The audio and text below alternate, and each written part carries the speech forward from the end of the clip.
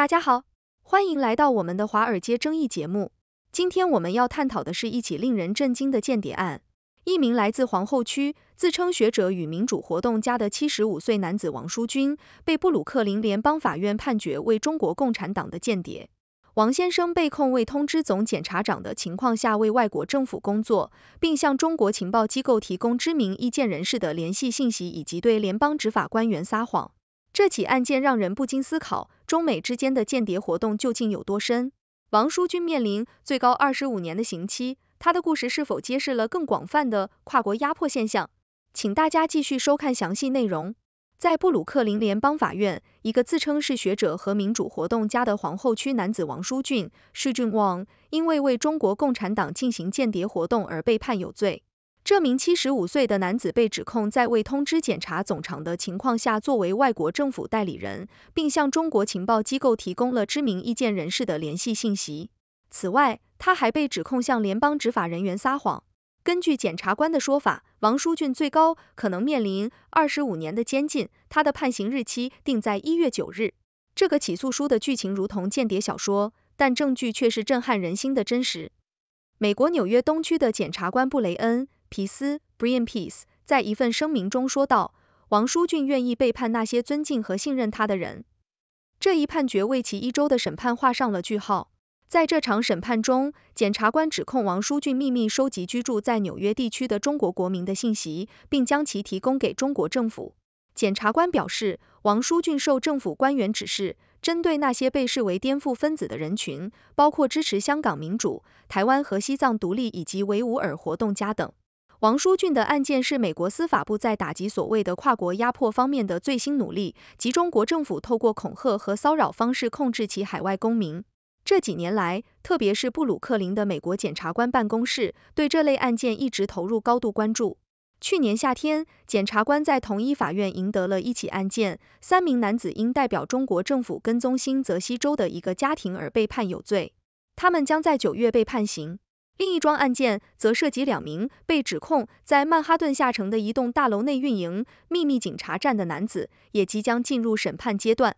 在美中关系日益紧张的背景下，像王书俊这样的案件被推向了检察官的前线议程。去年，美中关系降至几十年来的最低点，双方在多个方面的争端仍在不断考验双边关系，从贸易、科技到南中国海和台湾的主权声索。周二，由六男六女组成的陪审团经过一天的考虑后，对王书俊的所有指控都作出有罪判决。王书俊于二零二二年与中国国家安全部的四名成员一起被起诉，但这些人现居中国，而中国与美国之间没有引渡协议。在整个审判过程中，王书俊身穿灰色西装，打着颜色鲜艳的领带。他不太会说英语，法庭上为他配备了翻译。王书俊显得相当放松，常常闭眼微笑。聆听双方律师的论述。当陪审团的前言人读出判决结果时，王书俊面无表情，微微后仰，但仍然保持着高昂的头。他在大多数判决结果被宣读时闭着眼睛，不时地睁开眼睛瞥向陪审员。在法院外，王书俊愤怒地表示：“他们弄错了证据，这不公平。他们在玩弄正义，这是小说情节。”他用普通话继续说道：“我再也无法写关于命运的书了。”我只能写一本关于在美国监狱生活的书。王书俊是一名美国公民，在一九九零年代移居纽约，曾经是一名访问大学的东亚研究学者。二零零六年，他在皇后区法拉盛地区创立了一个纪念一九八九年天安门事件的民主组织，即胡耀邦和赵子阳纪念基金会。该组织以推动包括言论自由在内的政治改革的前共产党官员为名，这些官员后来被逐出权力中心。胡耀邦的去世引发了1989年的天安门广场抗议运动，最终以血腥镇压告终。该组织的网站显示，其使命是促进中国的宪政转型。但检察官表示，自至少2006年起，王书俊便利用其在华人社区中的地位和身份，成为一名潜伏的情报资产。据称，他受命收集中国政府认为不受欢迎的主题和人物的资讯，并透过面对面的会议和书信往来，包括描述他与知名活动家互动的日记，将这些讯息传送给他的接头人。被告过着双重生活。检察官艾伦·塞斯 e l e n s 在开庭陈述中说，他自称是学者和支持民主的活动家，但表象可以欺骗人。陪审团被展示了一系列记录了王书俊与接头人之间通信的证据，包括加密讯息。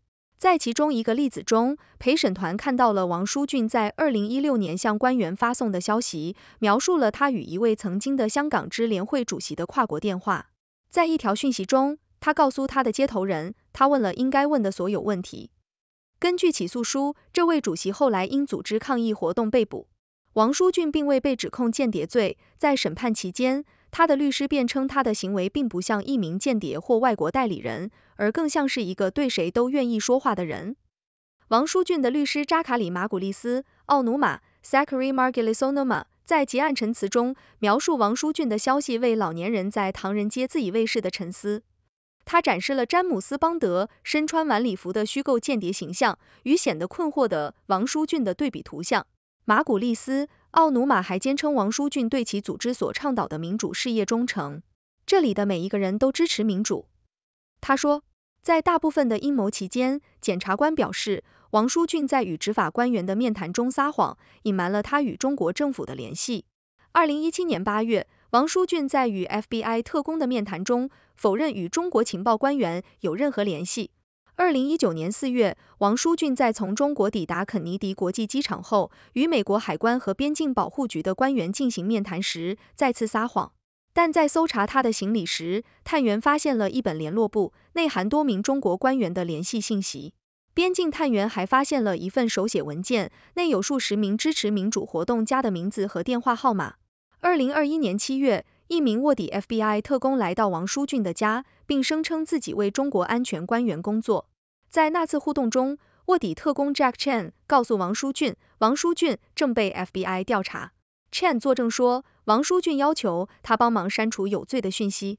二零二一年八月。FBI 特工在康涅狄格州王书俊的家中进行面谈时，王书俊承认与多名中国官员有联系，并透露他曾提供有关支持民主活动的资讯，并至少三次与其中一名官员会面。检察官说，次年三月。探员搜查了王书俊位于法拉盛和康涅狄格州的住处，发现了他与中国接头人的电子邮件地址和电话号码，以及他们之间的讯息和一百六十三篇电子邮件日记条目。这些条目日期从大约二零一一年到二零一四年。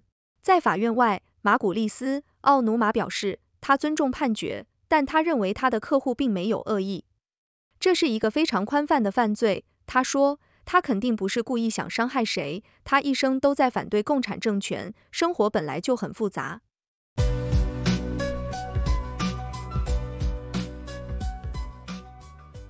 欢迎大家进入六度探索的辩论环节，我们从正反两个角度对本节目进行辩论，请出我们的辩论高手楚天舒、谢琪琪。我是楚天舒，我是谢琪琪。各位好，我是楚天舒，今天。我要支持这次判决，因为它展示了美国对跨国压迫的强硬态度。这次判决不仅是对汪书中个人的审判，也是对中国政府海外行为的谴责。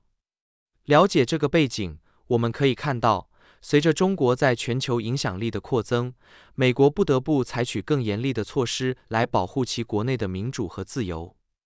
这是捍卫美国价值观的一部分。也是巩固国家安全的重要手段。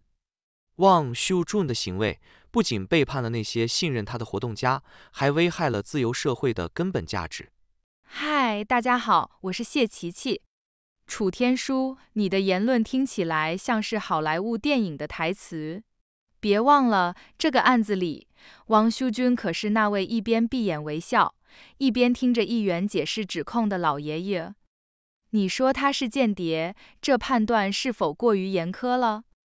这位可怜的老人只是在送点小信息，难道真有那么大的杀伤力吗？或许他只是想要一些存在感，毕竟他的律师说了，他只是个在唐人街孤独的老头子，寻求关心和交流。谢琪琪，你这么说，难道你没看到那些具体的证据吗？汪的日记里可是记载了详细的联系人信息和他与中国政府官员的会面，这已经不只是聊天和寻求存在感那么简单了。你知道美国司法部去年还起诉了三名代中国政府追踪新泽西一个家庭的人吗？汪书中的行为不是单一起事件，而是一种有组织、有计划的跨国压迫。这就是为什么我们需要严格执法，捍卫自由社会。楚天舒，别这么严肃嘛！难道你没听过“老顽童”这个词吗？光看他自以为是的老头子的瞎扯这一点，就能看出他根本不具备真正的间谍素质。再说了，汪修俊也为民主事业做了不少努力，创立了纪念基金会来推动中国的宪政改革。难道我们就这么快忘了他曾经的贡献？仅凭一些日记和几次会面，就给他判了刑？来点同情心吧，别把事情看得那么黑白分明。谢琪琪，确实，汪修俊曾经有过一些积极的行为，但这并不能抹消他后来的背叛行为。你说他是老顽童，可他的行为却给许多促进民主的人带来了切实的威胁。这不是一个简单的老顽童的胡闹。而是一个利用他人信任，将信息传递给一个压迫政权的行为。这样的行为无论如何都不能被轻视。你知道吗？根据外国代理人登记法 （FARA），他这样行事而不报备就是非法的。这一点无论他多大年纪，都不能成为他逃避法律制裁的理由。楚天舒，没错，法律是法律，但我们也要看到法律背后的人性。你刚才提到 FARA，那可是一九三八年通过的法律，当时主要是为了应对纳粹宣传。今天我们还用它来对付这个七十五岁的老人，确实有些过时了吧？或许我们应该重新审视这些老法规，看看他们是否真的适合当下的情况。汪修俊或许是违法了，但他的动机和背景值得我们更多考量。他或许只是被利用了，或者说他自己也不完全明白其中的严重性。所以，我们应该在法律和人性之间寻找一个平衡点，而不是一味的追求严厉的惩罚。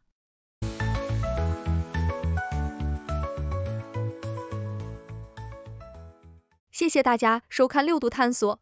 这是一个由科学家、经济学家、媒体人、工程技术人员合作建立的新型媒体。网友与六度 AI 参与合作完成各种内容，这些内容不能作为任何决策或法律的意见。这是一个新型的试验性媒体方式，我们希望得到大家的支持，修正错误。网友可以参与讨论，也可以向万能的六博士提出你能想出的任何问题。六度世界网址是六 do world，请介绍给你的亲朋好友。